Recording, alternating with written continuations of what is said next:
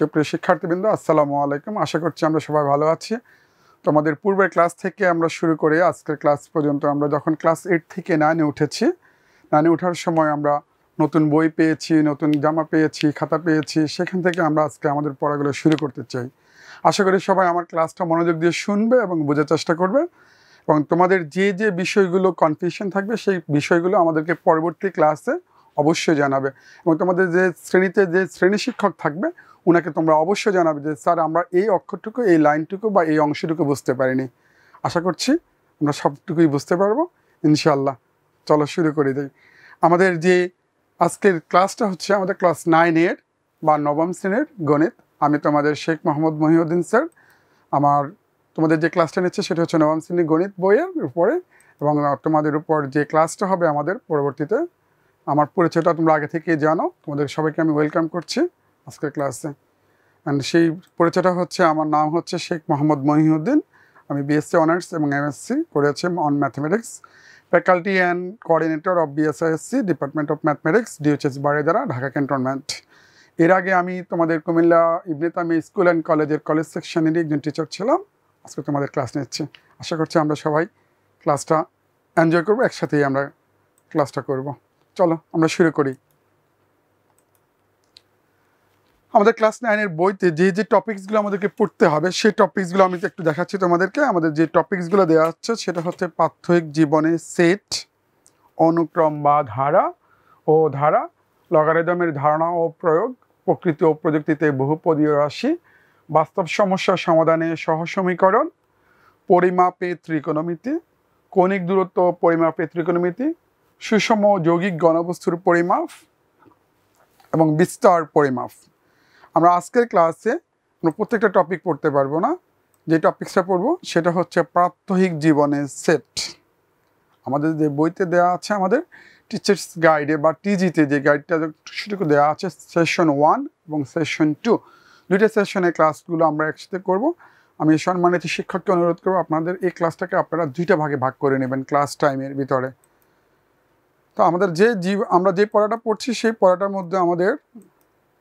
যে অভিজ্ঞতা আমরা অর্জন করবো সেটা হচ্ছে আজকে আমরা স্টেটের ধারণা শিখব স্টেটের প্রকারভেদ শিখব এবং স্টেটের অপারেশানগুলো কী কী সেটা শিখব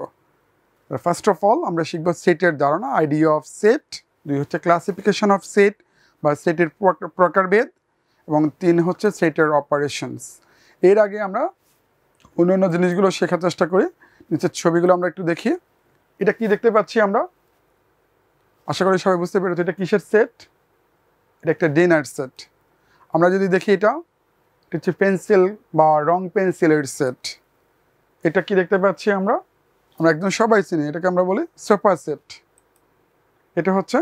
সাউন্ড বক্সের সেট তাহলে আমরা বুঝতে পারছি প্রাত্যহিক জীবনে আমরা প্রতিনিয়তই আমরা এই ধরনের সেটগুলো দেখতে পাচ্ছি ডিনার সেট বা পেন্সিলের সেট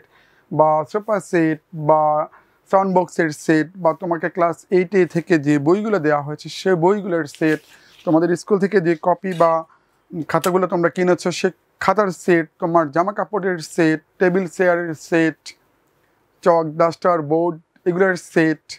আমরা এভাবে অনেকগুলো সেট বলতে পারি তাহলে আমরা অষ্টম শ্রেণীতে যে বইগুলো পেয়েছি সেই বইগুলোর যদি আমরা নামগুলো লিখি তাহলে আমরা ওই বইগুলো নিয়ে আমরা বলতে পারি একটা সেট রং পেন্সিলের সেট ক্রিকেট খেলার সরঞ্জাম যেটা থাকে সেই সরঞ্জামের সেট থাকতে পারে আমাদের জন্য আর এ সেট সেটটাকে নিয়ে কথা বলেছেন কে প্রথম সেটটাকে নিয়ে কথা বলেছেন জার্মান গণিতবিদ জর্জ ক্যান্টর ওনার নাম অনুসারে একটা সেটের নামও বলা হয় ক্যান্টর সেট বা ক্যান্টোর সেট তার জন্ম হচ্ছে জার্মানিতে তারা আজীবন বন্ধু ছিল রিচার্ড ডেডকিন্ট এবং চিঠি আদান প্রদান করে ওনারা নিজেদের মধ্যে নিজেরা দুই বন্ধু মিলে সেটের ধারণাটাকে বিস্তৃত করেছেন সেটটাকে আরও ডিসকাস করেছেন আরও অনেক কিছু করেছেন তাহলে আমরা এখান থেকে বলতে পারছি ডিনার সেট বা তোমার এখানে যে এই পেন্সিলের সেট বা সোফার সেট বা সাউন্ড বক্সের সেট এগুলো থেকে আমরা বলতে পারি যে এগুলো একটা সেট প্রত্যেকে তাহলে আমরা যদি জিজ্ঞাসা করতে চাই সেট কাকে বলে বা তোমার শ্রেণীর যে রোল নাম্বারগুলো বা বইয়ের পাতা সেগুলো কি এরকম না দেখো তো একটু one two three four five six বা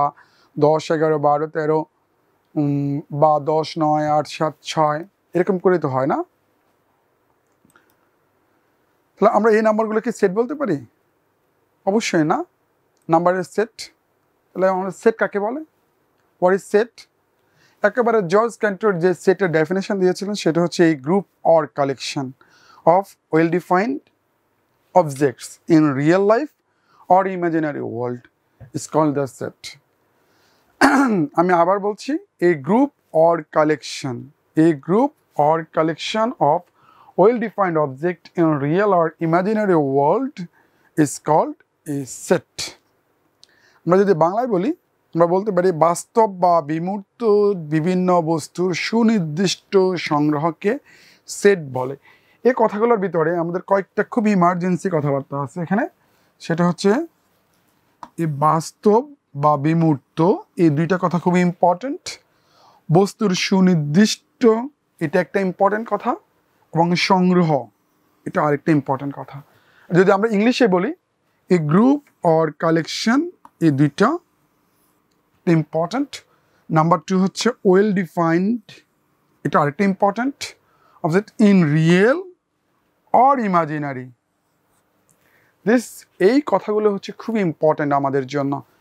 বাস্তব কথাটা হচ্ছে বাস্তব হতে পারে সেটের এলিমেন্ট বা সেট যে জিনিসগুলোকে আমরা সেট বলছি সেই জিনিসগুলো আমাদের বাস্তব হতে পারে বিমূর্ত হতে পারে না দেখা যেতে পারে অ্যাবস্ট্রাক হতে পারে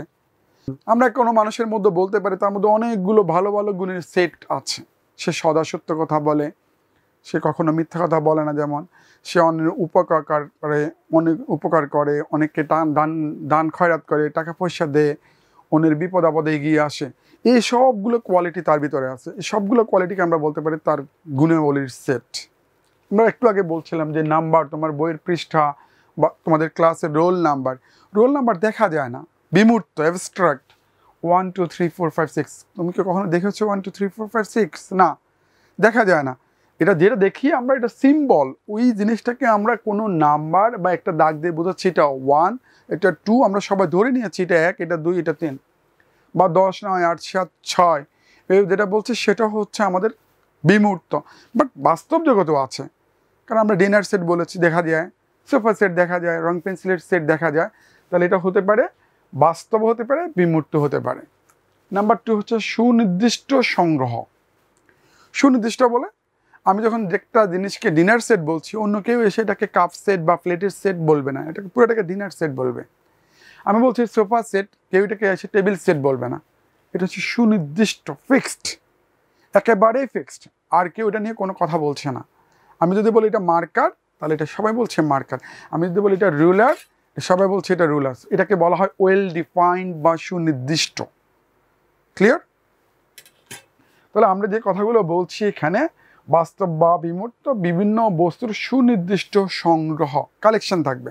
গ্রুপ অফ কালেকশন যে আমার বলছি dinner set sofa set table set cricket খেলার সরঞ্জামের সেট বইয়ের সেট পেন্সিলের সেট এটা একটা কালেকশন সংগ্রহ তাহলে এটাকে বলা হচ্ছে সেট আমরা আশা করি বুঝতে পেরেছি তারপরে আমরা যে কথাটা বলছি তাহলে আমরা বুঝতে পারলাম যে বাস্তব আমাদের সেট কে কে কাকে বলে এই group or collection of well defined object in real or imaginary world it's call set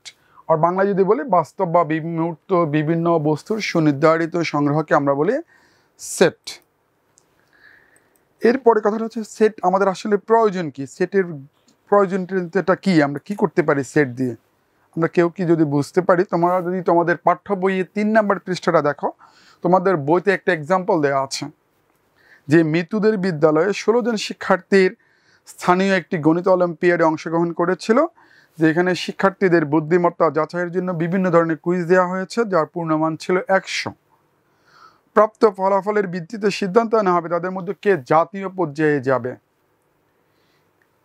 যে সকল শিক্ষার্থীর নাম প্রাপ্ত নাম্বার সিক্সটি পার্সেন্ট আপ ষাট শতকরা ষাটের উপরে ছিল তাদেরকে আমরা জাতীয় পর্যায়ে পাঠাবো কিন্তু আগে আমরা ঘরোয়াতে বা স্কুলে আমরা একটা কম্পিটিশান করেছি সেই কম্পিটিশানের নামগুলো দেখা হচ্ছে দেখো একটু বইতে তোমাদের সাগর কামাল মিতু সেলিম দীপ্তি অভিজিৎ জেবা রওশন কলি ত্রিবিজয় ইত্যাদি ইত্যাদি নামগুলো দেওয়া আছে তোমাদের সে নামগুলো থেকে আমরা বলতে পারি আমাদের তাহলে আমরা যদি একটু দেখি আমাদের এই বইতে যে কথাগুলো আছে যে পেজ নাম্বার থ্রিতে আমরা যেটা দেখতে পাচ্ছি এখান থেকে আমরা যদি দেখি সাগর নাম্বার পেয়েছে আটান্ন কামাল পেয়েছে বাহাত্তর মিতু উনআশি সেলিম তেত্রিশ এভাবে করে উত্তর অলিম্পিয়াডে মোট ষাট পার্সেন্টের নাম্বারগুলোকে আমরা এ গ্রেড বা এ সেট ষাট পার্সেন্টের কম পাওয়া নাম্বারগুলোকে আমরা বি গ্রেড বা বি সেট হিসাবে দেখতে পারি সেক্ষেত্রে আমরা এ সেটে কী কী এলিমেন্টগুলো পাবো কী কী উপায়ে নাম্বারগুলো পাবো বাহাত্তর উনআশি তেষট্টি নব্বই সাতাত্তর চুরাশি একাশি আটাত্তর ছিয়াশি অ্যান্ড আশি এই নাম্বারগুলো আমরা পাচ্ছি এ গ্রেডে আর বি গ্রেডে আমরা পাচ্ছি আটান্ন তেত্রিশ পঁয়তাল্লিশ পঁয়ত্রিশ পঞ্চাশ উনষাট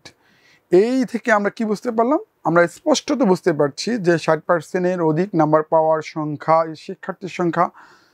আর ষাট পার্সেন্টের কম পাওয়া শিক্ষার্থীর সংখ্যার সে কম সরি বেশি কারণ ষাট পার্সেন্ট নাম্বার পেয়েছে এরকম স্টুডেন্ট সংখ্যা হচ্ছে নয় জন এক দুই তিন চার পাঁচ ছয় সাত আট নয় দশজন জন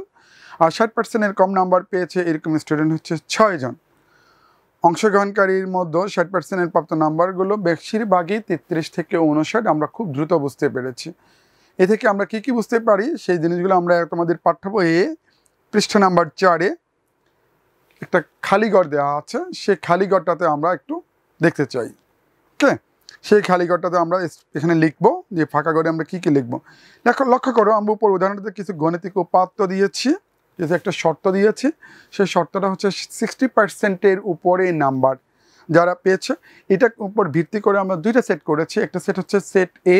আরেকটা সেট হচ্ছে সেট বি এ সেটে হচ্ছে যারা সিক্সটি পার্সেন্টের উপরে নাম্বার পেয়েছে আর বি সেটে হচ্ছে যারা সিক্সটি পার্সেন্টের কম নাম্বার পেয়েছে এখান থেকে আমরা দ্রুত দুটা দ্রুত দুইটা ডিসিশন নিতে পারি একটা হচ্ছে যারা সিক্সটি পার্সেন্টের নিচে নাম্বার পেয়েছে তাদের ইম্প্রুভমেন্টের জন্য আমরা কোনো ক্লাস বা তাদের ইম্প্রুভমেন্টের জন্য কোনো ধরনের ওয়ে বা প্রসিডিউর নিতে পারি তাদেরকে নতুন করে এক্সট্রা ক্লা ক্লাস দিতে পারি নতুন করে এক্সট্রা ট্রেক কেয়ার জন্য টিচার চেঞ্জ করে দিতে পারি নতুন করে ক্লাসটাতে তাদেরকেই তাদের বোঝানোর জন্য অন্য কোনো উপকরণ কোনো জিনিসপত্র যদি প্রয়োজন হয় তাদের সেটা দিতে পারি তাহলে আমরা এখান থেকে দ্রুত সেট থেকেই আমরা দ্রুত ডিসিশান নিতে পারছি তাদের উন্নতির জন্য কি করা লাগবে বা কারা কারা আসলে উইক কারা কারা আসলে স্ট্রং আর ব্রিলিয়ান্ট ইন ম্যাথ এখান থেকে আমরা একটা আইডিয়া পাই সো আমরা সেটের যে প্রয়োজনীয়তাগুলো ডিসকাস করেছি তোমাদেরকে আমি দেখাচ্ছি যে ওয়ান টু থ্রি করে তোমাকে এই টেবিলটা কমপ্লিট করতে হবে তোমাদের বইয়ে একটা পৃষ্ঠা নাম্বার ফোরে দেওয়া আছে সেখান থেকে ওয়ান টু থ্রি করে আমরা এই সেটের কি কি প্রয়োজন আমরা আলাদা আলাদাভাবে লিখব ওকে এখন তোমাদের বইয়ের পাঠ্য বইয়ের পেজ নাম্বার ফাইভে একটা জোড়ায় জোড়ে কাজ দেওয়া আছে সে সেটে প্রকাশ করো অষ্টম শ্রেণীর বইয়ের সেট আমরা লিখব ক্লাস এইট আমরা লিখতে পারি ক্লাস এইট সেটের জন্য আমরা ধরো একটা নাম দিলাম ধরো এটাকে নাম দিলাম বি এ বি সেটে বইগুলো হচ্ছে Bangla English math religion like this আমরা বলতে পারি সোশ্যাল সায়েন্স বা সায়েন্স এভাবে করে বইয়ের নামগুলোকে আমরা জোড়া জোড়া লিখতে পারি আমরা দেখি দুইজন দুজন করে আমরা এই জিনিসগুলো একটু লিখবো এবং সম্মানিত শিক্ষকরা আপনারা একটু তদারকি করবেন তোমার রং পেন্সিলের রঙের সেটগুলো হতে পারে ছবিতে দেওয়া ক্রিকেট খেলার সরঞ্জামের হতে পারে আমি যে ডিনার সেট দেখিয়েছি সে ডিনার সেটের হতে পারে এভাবে তাহলে সেট লেখার পদ্ধতিটা আমাদের এখন শিখতে হবে আমরা বুঝতে পেরেছি যে আমরা যদি জোড়া জোড়া লিখতে যাই সেট লেখার পদ্ধতিটা কি আমার জানতে হবে তাহলে আমাদের ফার্স্ট কথাটা হচ্ছে সেট লেখার নিয়মগুলো কি সেট সাধারণত normally English alphabet capital letter যেগুলো ইংরেজি বড় হাতে লেখ অক্ষরগুলো দিয়ে লেখা হয় সাধারণত এগুলোকে এ বি সি বা এক্স ওয়াই জেড বা পি কিউ আর ইত্যাদি দিয়ে প্রকাশ করে যে কোনো একটা সেটে সংগৃহীত প্রত্যেকটা বস্তুর সেটকে সেটের সদস্য বা উপাদান বা এলিমেন্ট বলে এই উপাদানগুলোকে সাধারণত স্মল লেটার এবিসি বা ছোট হাতের অক্ষর এবিসি বা এক দুই তিন বা আলফা বিটা গামা ছোট লেটার দিয়ে এলিমেন্ট আর ক্যাপিটাল লেটার বা বড় হাতের অক্ষর দিয়ে সেট বোঝানো হয় সেটের এলিমেন্টগুলো অবশ্যই অবশ্যই সেকেন্ড ব্র্যাকেট বা দ্বিতীয় বন্ধনী বা আমরা অনেকে বলি কার্লি ব্র্যাকেট কার্লি ব্র্যাকেটের ভিতরে রাখতে হবে সেটের এলিমেন্টগুলোকে সাধারণত কমা দিয়ে দিয়ে ডিফারেন্সিয়েট করা হয় দুইটা এলিমেন্টের মাঝখানে একটা কমা দিয়ে তাদের মধ্যে পার্থক্য দেখানো হয় আমরা সাধারণত এ কমা বি যদি বলি B is a set A সেটের এলিমেন্ট হচ্ছে এ এবং বি এ কমা বি তাহলে আমাদের লেখার ক্ষেত্রে আমাদের মাথায় রাখতে হচ্ছে দুইটা জিনিস একটা হচ্ছে আমি যখন লিখছি B is a set second ব্র্যাকেটে কার্লি ব্র্যাকেটের আন্ডারে থাকবে এর এলিমেন্ট হচ্ছে দুইটা একটা হচ্ছে এ একটা হচ্ছে বি এই দুইটা এলিমেন্টের মাঝখানে একটা কমা থাকবে দুইটা এলে প্রত্যেকটা এলিমেন্টের দুইটা এলিমেন্টের মাঝখানে কমা থাকবে এ সেটের এলিমেন্ট হচ্ছে দুইটা এ এবং বি সাপোজ তুমি এই সেটটা লেখার সময় লিখছো এইভাবে B is a set of A B just একটা কমা দিতে ভুলে গিয়েছো এ কমা দেওয়া ভুলে যাওয়ার কারণে এখানে এ বি একটা এলিমেন্টকে বোঝাচ্ছে একটা উপাদান বোঝাচ্ছে তাহলে এ বি সেটের এলিমেন্ট হচ্ছে একটা আর এ বি সেটের এলিমেন্ট হচ্ছে দুইটা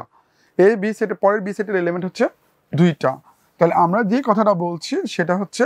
সেট সাধারণত ক্যাপিটাল লেটার দিয়ে লেখা হয় সেটের এলিমেন্টগুলোকে সেকেন্ড ব্রেকেট দিয়ে এনক্লোজ করা হয় সেটের এলিমেন্টগুলোর মাঝখানে কমা দিয়ে দিয়ে ডিফারেন্সিয়েট বা পার্থক্য করা হয় নাম্বার থ্রি হচ্ছে সি যদি বি সেটটির উপাদান না হয় তাহলে আমরা যদি লিখি ও বি যদি এখানে আমরা যখন বলছি B is an element of B is an element of B মানে বি হচ্ছে বি সেটের একটা উপাদান অথবা এ হচ্ছে বি সেটের একটা উপাদান মানে এই এলিমেন্টটা বি সেটের ভেতরে আছে আমি যদি বলি বাংলাদেশ মানে বি মানে হচ্ছে বাংলাদেশ এই বাংলাদেশের কোন কোন ডিস্ট্রিক্ট আছে আমি ধরলাম ঢাকা আছে ফেনী আছে কুমিল্লা আছে বরিশাল আছে এরকম আমি বললাম অল অফ দিজ আর ঢাকা ফেনী কুমিল্লা বরিশাল আমরা জানি যে ঢাকার ভিতরে বাংলাদেশের ভিতরে ওয়াশিংটন নাই তাহলে আমরা A D F C B এগুলো দিয়ে আমরা যেটা বোঝাচ্ছি সেটা হচ্ছে বি সেটের এলিমেন্ট এগুলোকে আমরা এখানে ক্যাপিটাল লেটার দিয়ে লিখেছি কারণ ঢাকা নিজে একটা বড় শহর এর জন্য আর যদি আমরা বলি যে বাংলাদেশের ভিতরে আমরা কখনো ওয়াশিংটন ডিসি পাবো না নয়াদিল্লি পাবো না তাহলে আমরা বলবো এই বি সেটের ভিতরে আমরা এই যে ঢাকা কুমিল্লা ফেনী বা বরিশাল এগুলো আছে আচ্ছা। আর এই জন্য আমরা বলি ডি বিলংস টু বি অথবা সি বিলংস টু বি যদি বলি আমরা ডি এবং বি এগুলো আমাদের ঢাকা বা যদি নয়াদিল্লির কথা বলি বা ফ্রান্সের রাজধানীর কথা বলি প্যারিস প্যারিস তো আমাদের বাংলাদেশের ভিতরে নাই প্যারিস কি বাংলাদেশের ভিতরে তাহলে আমরা লিখতে পারি P does not belongs to B তাহলে এই যে সিম্বলটা এই সিম্বলটাকে বলা হচ্ছে ডাজ নট বিলংস টু এটা বি এ পি বি এর উপাদান নয় পিটা বিতে নেই এই কথাটা আমরা বলতে চাচ্ছি আর কিছু না তাহলে সেট গঠন করার জন্য যে পদ্ধতিগুলো বলেছি সেটা হচ্ছে সেট ক্যাপিটাল লেটার দিয়ে লেখা হচ্ছে উপাদানগুলোকে স্মল লেটার দিয়ে লেখা হয় সেটের এলিমেন্টগুলোকে সেকেন্ড ব্র্যাকেট দিয়ে বা দ্বিতীয় বন্ধন দিয়ে এনক্লোজ করা হয় সেটের এলিমেন্টের মাঝখানে মাঝখানে একটা করে কমা দেওয়া হয় তো আমরা আশা করি বুঝতে পেরেছি সেট কিভাবে লেখা হয় এখন সেট লেখার কয়টা পদ্ধতি আছে শুধু এটাই একটা পদ্ধতি না আরও আছে আমরা যত বড় ক্লাসে উঠব তত আরও অনেকগুলো পদ্ধতি দেখব কিন্তু এখন আমরা আপাতত দেখতে পাই আগে দেখি আমরা নিজের একটা সেট তৈরি করে আসলে সেটটা তৈরি করতে পারি কিনা আমরা বলছি দুইশো দশ টু হান্ড্রেড টেনের মৌলিক উৎপাদক সমূহের সেট তৈরি করে লিখো তাহলে টু হান্ড্রেড টেনের মৌলিক উৎপাদক কোনগুলো যে নাম্বারগুলো দিয়ে দুশো দশকে কমপ্লিটলি ডিবেট করা যাবে এবং ওই নাম্বারগুলো প্রাইম নাম্বার হবে তাহলে আমরা দেখি তো দুশো দশের যে আমরা বলতে পারি দুশো দশ এটাকে যদি আমরা ভাগ করি দুই দিয়ে করি তাহলে হচ্ছে ওয়ান জিরো ফাইভ আবার যদি দু দিয়ে ডিভাইড দু দিয়ে ডিভাইড যাচ্ছে না যেহেতু এটা অড নাম্বার সো আমরা যদি তিন দিয়ে ডিভাইড করি তাহলে তিন দিয়ে করলে তিন তিরিকা নয় এক পাঁচ পনেরো পনেরোর ভিতরে তিন পাঁচে পনেরো অ্যান্ড পঁয়ত্রিশ পেয়েছি পাঁচ পঁয়ত্রিশকে আমরা থ্রি দিয়েও ডিভাইড দিতে পারছি না সো ফাইভ দিয়ে যদি ডিভাইড করি ফাইভ সেভেন তাহলে আমরা দুশো দশের জন্য পাচ্ছি টু থ্রি ফাইভ সেভেন তাহলে আমরা যদি লিখি B is a set of prime number O prime factor of two hundred and ten যদি বলি বি একটা সেট যেটা দুশো দশের মৌলিক উৎপাদকগুলোকে লেখা যায় তাহলে বি এর ভিতরে এলিমেন্ট আসবে কত দুই তিন পাঁচ সাত আমি আশা করি আমরা সবাই বুঝতে পেরেছি তাহলে দুইশো দশের মৌলিক উৎপাদক সমূহ কত হচ্ছে দুই তিন পাঁচ সাত আমি যদি বলি নাইনটি সিক্স এর মৌলিক উৎপাদকগুলো কত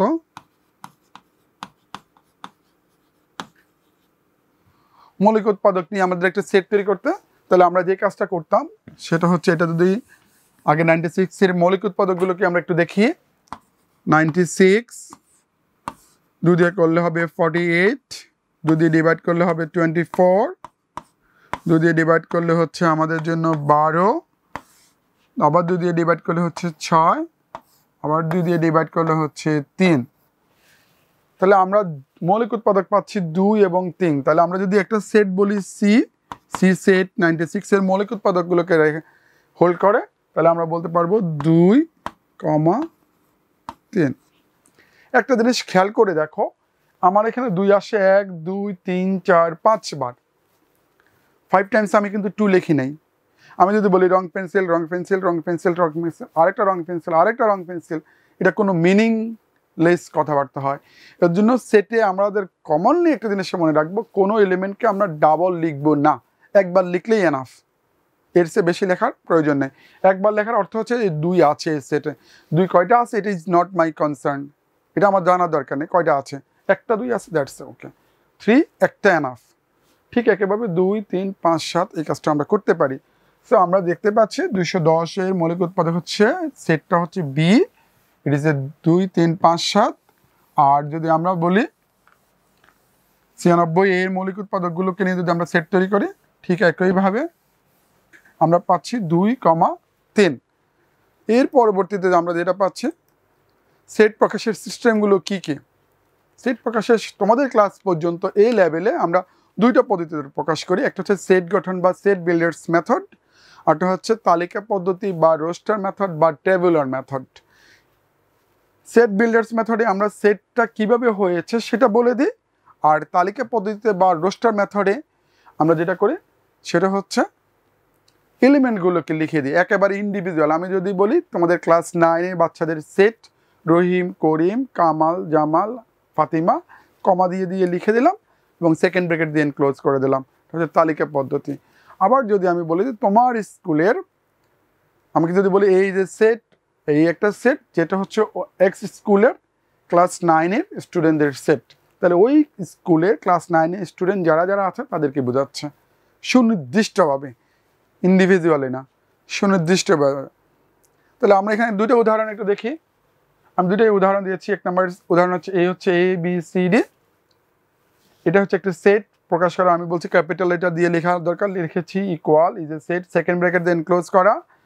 এ বি সি ডি তাদের মাঝখানে কমা দিয়ে লেখা আছে তাহলে এটা হচ্ছে তালিকা পদ্ধতি এই পদ্ধতিটাকে বলা হচ্ছে তালিকা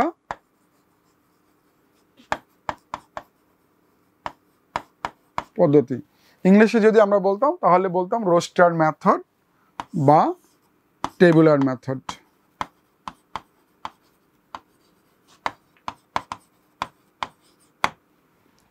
এই রোস্টার মেথড টেবুলার মেথড বা তালিকা পদ্ধতি এটা হচ্ছে আমরা যখন সেটটাকে ডিরেক্টলি তার প্রত্যেকটা এলিমেন্টকে লিখে দিচ্ছি আর এরপরে যদি আমরা পরে আবার দেখো একই সেটটাকে আমরা আরেকবার লিখেছি খেয়াল করে দেখো এ সেটটাকে আমরা আরেকবার যখন লিখেছি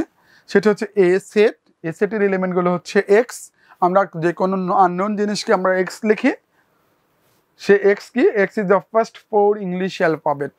ইংলিশ লেটারের ইংলিশ লেটারের প্রথম চারটে অ্যালফাবেট কী কী প্রথম চারটা না লেটার কি কি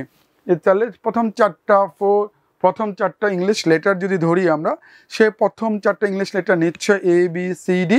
সেক্ষেত্রে আমরা বুঝতে পারছি এই সেটের এলিমেন্টগুলো কি কি হবে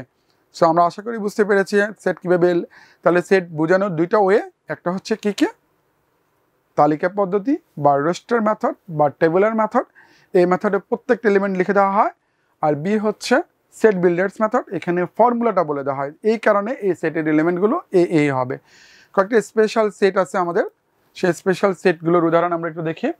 এন এন দিয়ে আমরা যখন লিখব ক্যাপিটাল লেটার এন আমরা খেয়াল করি এই এন লেখার ক্ষেত্রে N this is N but এই অংশটুকু একটু মোটা একটু বোল্ড করা এই অংশটুকু বোল্ড করা এটাকে আমরা যখন লিখতে যাই সহজে শর্ট ফর্মে আমরা লিখি পাবে সেট অফ এন হাতে লিখলে এইভাবে লিখে দিই এটা হচ্ছে সেট অফ এন দা সকল স্বাভাবিক সংখ্যা আমরা জানি এক দুই তিন চার পাঁচ ছয় এই নাম্বারগুলোকে সকল স্বাভাবিক সংখ্যা বলে এগুলোকে এন দিয়ে রিপ্রেজেন্ট করা হয় জেড যেটা হচ্ছে সকল পূর্ণ সংখ্যার সেট এটা হতে পারে minus one minus two minus three এটা হতে পারে এরকম minus two minus one zero one comma two আর এটা হচ্ছে একটা সেট এটা হচ্ছে ওয়ান থেকে শুরু one two three like this পরে বলা হচ্ছে কিউ হচ্ছে সকল মূলত সংখ্যার সেট যে সকল নাম্বারকে আমরা পি বাই কিউ ফর্মেটে লিখতে পারি একটা ফ্র্যাকশন আকারে লিখতে পারি বা ভগ্নাংশ আকারে লিখতে পারি সেগুলোকে বলা হয় কিউ বা সকল মূলত সংখ্যা আর হচ্ছে সকল বাস্তব সংখ্যার সেট তোমরা তোমাদের আগের ক্লাসে তোমরা ক্লাস এইটেই বাস্তব সংখ্যা মূলত সংখ্যাগুলো শিখেছ জেড প্লাস সকল ধনাত্মক পূর্ণ সংখ্যা মানে এক দুই তিন চার পাঁচ এগুলোই কিউ প্লাস সকল ঋণাত্মক ধনাত্মক মূলত সংখ্যার সেট শুধু পজিটিভ নাম্বারগুলো আর প্লাস হচ্ছে সকল ধনাত্মক বাস্তব সংখ্যার সেট এই নাম্বারগুলো এই সিম্বলগুলো আমরা একটু মনে রাখবো আমাদের পরবর্তী ক্লাসগুলোতে এটা আমাদের কাজে লাগবে আমরা একটু নিচে যে সেটগুলো দেওয়া আছে এই সেটগুলোকে যদি আমাদের একক পদ্ধতিতে একক কাজ করে দেখাতে হবে তোমাদের টিচারদের আমার সম্মানিত শিক্ষকদেরকে বলছি যে আপনারা এই কাজগুলো একটু নিজেরা বাচ্চাদের থেকে নিতে হবে নিজের নিচের সংখ্যাগুলোকে সেট গঠন পদ্ধতিতে প্রকাশ করো তাহলে এখন এটা কোন পদ্ধতিতে আছে এটা আছে এখন তালিকা পদ্ধতিতে এই তালিকা পদ্ধতি থেকে আমাকে সেট বিল্ডার্স মেথডে লিখতে হবে আমি একটা একটা করে দিচ্ছি কত সে নাম্বার এ এই যে set of minus twenty eight minus twenty one minus fourteen minus seven seven fourteen twenty one twenty eight তাহলে আমরা দেখতে পাচ্ছি এখানে সকল ধনাত্মক এবং ঋণাত্মক পূর্ণ সংখ্যা আছে ধনাত্মক এবং পূর্ণ ঋণাত্মক পূর্ণ সংখ্যা আছে কিন্তু এই নাম্বারগুলো প্রত্যেকে হচ্ছে কার সেট কার গুণিতক সাতের গুণিতক তাহলে আমরা বলতে পারি এটা একটা সেট এই সেটের এলিমেন্টগুলো হচ্ছে X such that X belongs to Z ধনাত্মক বা পূর্ণ ঋণাত্মক দুইটাই পূর্ণ সংখ্যা আছে এবং এবং কি পাওয়া যাচ্ছে সাতের সাতের গুণিতক এখন এই এক্স বিলংস টু জেড এবং এখানে একটা বাউন্ডারি দেওয়া আছে সেই বাউন্ডারিটা কি মাইনাস টোয়েন্টি এইট থেকে প্লাস টোয়েন্টি এইট তাহলে আমি লিখতে পারি মাইনাস টোয়েন্টি এইট আমি যদি একটা পারি এই সুন্দর করে আবার নতুন করে লিখি নতুন জায়গায় তাহলে আমরা প্রথম এই সেটটাকে লিখতে পারি এভাবে A is a set of x such that এক্সটা কীরকম এক্স বিলংস টু জেড পূর্ণ সংখ্যা এবং এবং কি এবংটা হচ্ছে যে এক্সটা হচ্ছে এক্স কমা সেভেন এর গুণিতক আর একটা কন্ডিশন আছে মাইনাস টোয়েন্টি এইট থেকে plus twenty eight minus 28 is less than or equal to x is less than equal to plus 28 আর একটা কন্ডিশন আছে জিরো কিন্তু আমার নাই এখানে তাহলে আমরা বলতে পারি x is not equal to 0 তাহলে আমাদের এই সেটটাকে আমরা সেট বিল্ডার্স মেথডে যদি বলি তাহলে বলবো a is a set of x such that x belongs to z that means পূর্ণ সংখ্যা এবং x 7 এর গুণিতক -28 থেকে +28 X is not equal zero এইভাবে আমরা পুরা সেটটাকে একবারে লিখতে পারি ঠিক পরের সেটটাতে আমরা দেখতে পাচ্ছি B is a set of zero one two three four five one two three five eight আমরা দেখতে পাচ্ছি এটা একটা সেট সে সেটটার এলিমেন্টগুলো কি আমরা মনে হয় ফিবোনাচ্ছি নাম্বারের কথা মনে আছে ফিবোনাচ্ছি নাম্বারের মতো যদি ধরি আমরা তাহলে এটাকে ধরা যাবে zero one two three zero plus one one থাকলো one two then three then five then eight two plus three five three plus five eight like that one plus two is equal three two plus three five five plus three is equal eight এভাবে করে আমরা বলতে পারি এটা হচ্ছে ফিবোনাচ্ছি নাম্বারের set প্রথম এলিমেন্টটা যদিও ওয়ান পরে কথাটা বলা হচ্ছে নিচের সেটগুলোকে গঠন পদ্ধতিতে সংখ্যাগুলোকে তালিকা পদ্ধতিতে প্রকাশ করো তাহলে বলা হচ্ছে X X such that X is a ফাইভের গুণতক এবং তিরিশের চেয়ে ছোট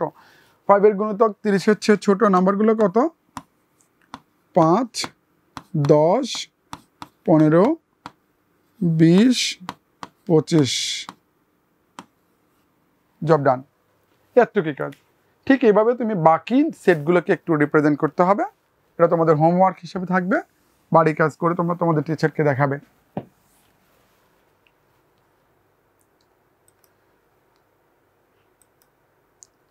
এখন তোমাদের পাঠ্য বইতে অনুশীলনীতে সাতাশ নম্বর পৃষ্ঠায় যে কোশ্চেন নাম্বার ওয়ান এবং টু দেওয়া আছে কোশ্চেন নাম্বার ওয়ান এবং টু তোমরা বাসায় করবে এবং তোমাদের স্যারকে দেখাবে প্রথম কোশ্চেনটা বলা হচ্ছে তালিকা পদ্ধতিতে প্রকাশ করো দ্বিতীয় কোশ্চেনটাতে বলা হচ্ছে সেট গঠন পদ্ধতিতে প্রকাশ করো তালিকা পদ্ধতিতে প্রকাশ করার জন্য প্রথম কোশ্চেনটা বলা হচ্ছে এ এই যে set of X X belongs to N N means what set of natural number such that -3 is less than x is less than or equal to 5 আমরা জানি नेचुरल নাম্বার গুলো 1 থেকে শুরু হয় যদি এখানে -3 বলা হচ্ছে তাহলে এটাকে আমরা যদি তারিখে পদ্ধতি লিখি তাহলে 1 2 3 সরি 4 অ্যান্ড ফাইভ এই এলিমেন্টগুলো হচ্ছে আমার সেটের এলিমেন্ট যদিও বলা হচ্ছে X belongs to N so আমাদের কোনো নেগেটিভ নাম্বার আর নেওয়া যাবে না কারণ কোশ্চেনেতে বলা হচ্ছিল থেকে ন্যাচারাল নাম্বার থেকে ঠিক একেভাবে তোমার এখানে খ গ এগুলো কোশ্চেনগুলো করে দেওয়া আছে পরে কোশ্চেনটাতে বলা হচ্ছে এক তিন পাঁচ দুই নম্বরে সেট বিল্ডার্স মেথডে আবার বলা হচ্ছে তোমাদের তালিকা পদ্ধতি থেকে সেট বিল্ডার্স মেথডে বলতে সেক্ষেত্রে আমরা যদি টু নাম্বার ম্যাথটা করতে চাই সে টু নাম্বার ম্যাথের জন্য বলা হচ্ছে এই যে set of one three five seven one hundred and one তাহলে এই সেটটাকে আমরা যদি তালিকা পদ্ধতিতে প্রকাশ করি এখান থেকে আমরা বলতে পারি এই যে set of X such that X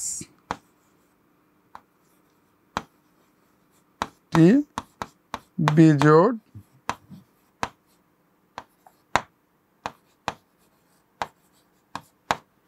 পূর্ণ সংখ্যা এবং এক্স একটি বিজোড় পূর্ণ সংখ্যা এবং X is less than or equal to one zero one এখান থেকে আমরা বলতে পারছি এক্স একটু পূর্ণ বিজোড় সংখ্যা আমরা জানি ওয়ান থ্রি ফাইভ সেভেন এগুলো হচ্ছে বিজোড় সংখ্যা এবং এক্স এর ভ্যালুটা ওয়ান হান্ড্রেড ওয়ান থেকে ছোটো সেখান থেকে আমরা এই নাম্বারগুলো করতে পারি তো সুপ্রিয় শিক্ষার্থীবৃন্দ আজকের ক্লাসে আমরা যে যে জিনিসগুলো শিখেছি সেই জিনিসগুলো থেকে আমরা যদি একটু মূল্যায়ন করে আমরা কি কি শিখতে পেরেছি আমরা শিখেছি সেট কি সেট গঠন প্রক্রিয়া কি কি সেট গঠন বা কেন প্রয়োজন বা এর প্রয়োজনীয়তাটা কি তালিকা পদ্ধতি এবং সেট বিল্ডার সিস্টেম কি এই পদ্ধতিগুলো থেকে আমরা আমাদের পরবর্তী ক্লাসগুলোতে ইনশাল্লাহ সেটের প্রকারভেদ এবং সেটের যে প্রয়োজনীয়তাগুলোর সাথে সাথে আমাদের যে সেটের প্রকারভেদটা আমরা শিখব এবং সেটের অপারেশনগুলো আমরা পরবর্তী ক্লাসে শিখব সে পর্যন্ত সবাই ভালো থেকো